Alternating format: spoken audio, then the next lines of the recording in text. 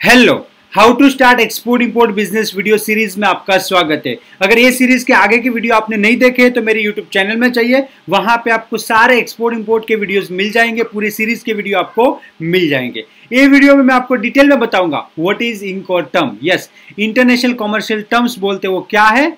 Why are they important yes इसका क्या use है? देखो आपको एक्सपोर्ट इंपोर्ट करना है तो सबसे पहले जानना पड़ेगा इंकोटम के बारे में। देखिए, यहाँ पे मैं आपको सबसे पहले बताऊँगा व्हाट इज़ इंकोटम इंकोटम को बोलते हैं इंटरनेशनल कॉमर्शियल टर्म्स हम इंटरनेशनल बिज़नेस करते हैं तो इसमें जो है किसका रिस्क कहाँ तक रहेगा, सब डिफाइन करता है इंकोटम क्या करता है? डिफाइन करता है। मतलब क्लैरिटी अगर आपको एक्सपोर्ट इंपोर्ट करना है तो इंकोटम के बारे में आपको नॉलेज होना मतलब इंपॉर्टेंट है और नेसेसरी है। क्योंकि यहाँ पे देखिए इंकोटम जो है सबसे इंपॉर्टेंट चीज़ है, क्योंकि इंटरनेशनल पूरा बिज़नेस जो है इंकोटम के ऊपर होता है। और इंकोटम बनाता कौन है? इंकोटम है क्या?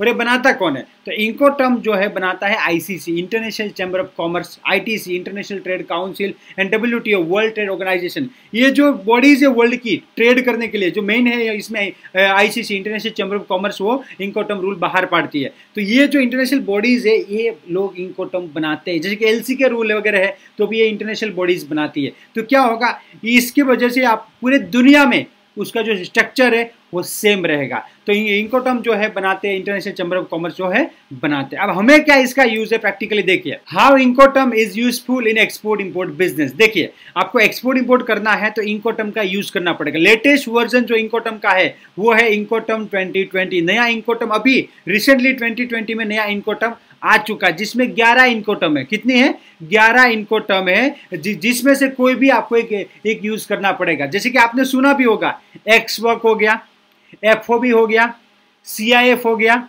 सीपीटी हो गया ये सारे इनको टर्म है। आपका जो बायर है आपसे प्राइस मांगेगा कि मुझे एफओबी प्राइस दो। मुझे सी आई प्राइस दो, मुझे सीपीटी प्राइस दो बाई एयर है तो तो आपसे प्राइस वो मांगेगा। तो यहाँ पे इंकोटम यूज़ में आते देखिए, आपको प्रैक्टिकल एग्जांपल के साथ मैं बताता हूँ। आपने यहाँ पे एफ़ में एक्सपोर्ट किया है। FOB मतलब होता है फ्री ऑन बोर्ड इसके बारे में, सारे इंकोटम के बारे में, ये सीरीज़ में मैं डिटेल में वीडियो भी बनाऊँगा। तो आप देखते रहिएगा, मेरा जो चैनल है, उसको देखते रहिएगा, पूरी सीरीज़ में मैं वीडियो बनाऊँगा। तो आपने FOB पे एक्सपोर्ट किया है। तो और उसके बाद कंटेनर डूब जाता है शिप डूब जाता है। तो रिस्पॉन्सिबिलिटी किसका है? वो तय इनको टर्म में होता है। उसके बाद जैसे कि C I F C and F या सी आई एफ़ में एक्सपोर्ट किया है और कंटेनर डूब जाता है तो उसका रिस्क किसका रहेगा? कौन इसका इंश्योरेंस लेगा?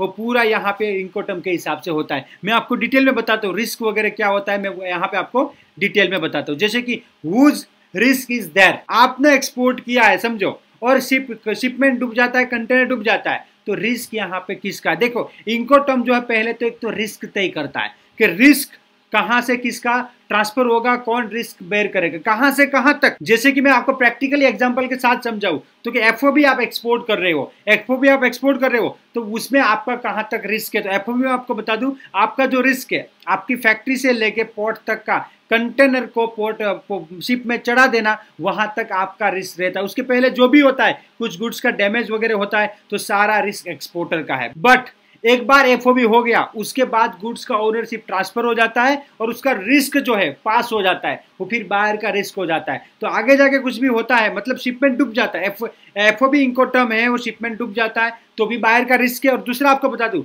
जैसे कि इनको टर्म है सीआईएफ और उस सी आई एफ़ में क्या होता है कि जो कंटेनर है, हमें सामने वाले पोर्ट तक पहुँचा के देना है। जैसे कि एफ़ ओ बी हमेशा Mundra port F O B Mumbai port आता है। हमारे पोर्ट तक का रिस्पॉन्सिबिलिटी हमारा है। और C I F C N F है तो C I F New York port आएगा सी आई एफ़ कोई लंडन का यूके का पोर्ट है तो यूके का पोर्ट आएगा नेदरलैंड का कोई सी आई एफ़ नेदरलैंड का जो भी रोटेडम प्लॉट पोर्ट है तो वो आएगा C I F Jebel Ali port आएगा, सामने वाला ही पोर्ट आएगा सी आई एफ़ में हमेशा। तो हमें क्या करना है? देखिए तो उसमें रिस्क किसका है? अगर सी आई फिंको टर्म में कंटेनर डूब गया तो रिस्क फिर भी बायर का है। क्योंकि एफ़ के बाद जो है ओनरशिप ट्रांसफ़र हो जाती है। तो यहाँ पे मैं आप पूरा और क्लियरिटी के साथ बताऊँ। Who will take goods insurance सबसे पहली बात तो है अगर मैं एफ़ में एक्सपोर्ट करता हूँ तो कंटेनर बुक एफ़ के अंदर कंटेनर बायर बुक करता है और उसका रिस्क जो है, वो भी बायर बेयर करता है। तो एफ़ जो है, इनको टर्म में एक्सपोर्टर का कोई रिस्क नहीं है। अगर मैं सी आई टर्म पे एक्सपोर्ट करता हूँ सी आई टर्म पे एक्सपोर्ट करता हूँ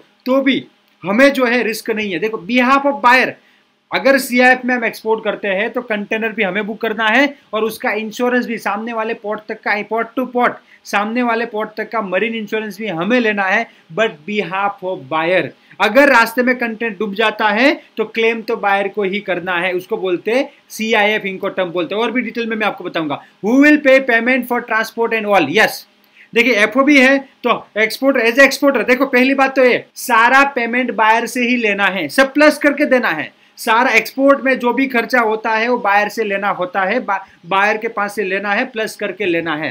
तो एफओबी मतलब हमारे पोर्ट तक का जो भी खर्चा है वो हम बायर को बताएँगे इतना रुपया मतलब आपको एफ़ भाव है इतना आपको देना पड़ेगा तो वो देगा। अब बायर आपसे सीआईएफ माँगता है तो हमें क्या करना है? सीआईएफ न्यूयॉर्क पोर्ट माँगता है तो हमें जो है गुड्स कंटेनर को न्यूयॉर्क पोर्ट तक पहुँचा के देना है। बट हमारा रिस्क कहाँ तक रहेगा? हमारा रिस्क जो है एफओबी तक रहेगा। उसके बाद हम कंटेनर बुक करेंगे, उसका पहाड़ा भी पेमेंट भी हम देंगे एज एक्सपोर्टर देंगे बट बायर से ले लेंगे। और इंश्योरेंस भी हम करवाएँगे बट उसका पेमेंट बायर से लेंगे प्लस करके, और वो जो उसका गुड्स का रिस्क है वो बिहाफ ऑफ़ बायर मतलब हम इंश्योरेंस लेंगे तो गुड्स का रिस्क है वो बायर का रहेगा। इंश्योरेंस हम लेंगे बट बिहाफ ऑफ़ बायर क्योंकि इंश्योरेंस का रूल होता है ना, कि जिसका ओनरशिप है वही इंश्योरेंस ले सकता है, जिसका इंटरेस्ट है।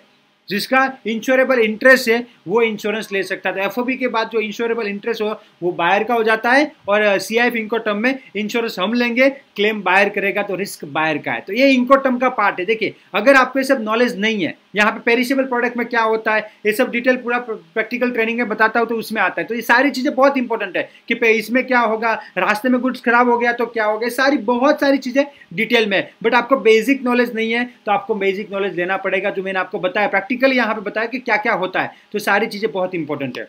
How Incoterms help in international trade तो यहाँ पे क्लैरिटी होती है। देखो बायर एंड सेलर के बीच का क्लैरिटी होता है। पहली बात तो एक क्लियर कर दू। पेमेंटम अलग चीज़ है इनकोटम अलग चीज़ है। लोग इसको मिक्स कर देते हैं। पेमेंटम अलग चीज़ है। आपका पेमेंट हंड्रेड परसेंट एडवांस है डीए है डीपी है एलसी है, या क्रेडिट में है, वो अलग बात है इनकोटम अलग बात है। लोग जैसे कि लोग क्या यहाँ पे देखो, क्या क्या करते हैं? ये सब क्लैरिटी इनकोटम में मिलती है। कि सर मेरा पेमेंट टर्म था thirty percent advance seventy percent buyer को गुड्स मिलने के बाद वो देगा मेरे को। ऐसा पेमेंट टर्म था।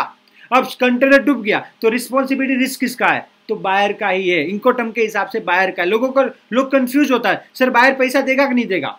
बायर को पैसा देना पड़ेगा एज पर कॉन्ट्रैक्ट के हिसाब से। उसको इंश्योरेंस मिल जाएगा ना? उसने जो है, उसको तो इंश्योरेंस करवाना उसकी जवाबदारी है। अगर सी है तो हमको करके भेजना है, वरना एफओबी भी इम्पोर्ट किया तो उसका लुकआउट है। पेमेंट टर्म अलग चीज़ है इनको टर्म अलग चीज़ है, दोनों को मिक्स मत करना। तो यहाँ पे इनको टर्म से रिस्पॉन्सिबिलिटी कौन इसका पैसा पे करेगा, कौन इसका रिस्क बेयर करेगा, कौन इंश्योरेंस लेगा, कौन क्लेम करेगा, ये सारी चीज़ें जो है इनको टर्म से हमको पता चलते ग्यारह इंको टर्म यहाँ पे मैं आपको बता दूँ, और इसके बारे में डिटेल में सीरीज़ में मैं डिटेल में वीडियो बनाऊँगा, आप देखना, और और भी वीडियो नहीं देखे तो सीरीज़ के देख सकते हो, और प्रैक्टिकली एक्सपोर्ट इंपोर्ट सीखना चाहते हो तो मेरा जो ट्रेनिंग है उसे ज्वाइन कर सकते हो। सबसे पहले एक्सवर्क है फिर एफ़ है free carrier FAS free alongside ship F free on board C F R cost cost and freight C I F cost insurance paid CPT carriage paid to C I P carriage and insurance paid to DPU delivered place unloaded D A P delivered at place and इसके बाद है D D P deliver duty paid तो ये जो है 11 Incoterm है latest Incoterm है 2020 तो इसके बारे में मैं डिटेल में वीडियो बनाऊँगा। और आपको एक्सपोर्ट इंपोर्ट रिलेटेड कोई भी क्वेरी है, आप वीडियो के नीचे कमेंट कर सकते हैं। और वीडियो अच्छा लगा तो प्लीज़ इसको शेयर कीजिए। और भी लोगों को फ्री में घर बैठे एक्सपोर्ट इंपोर्ट नॉलेज मिलेगा। Thank you and let's go global together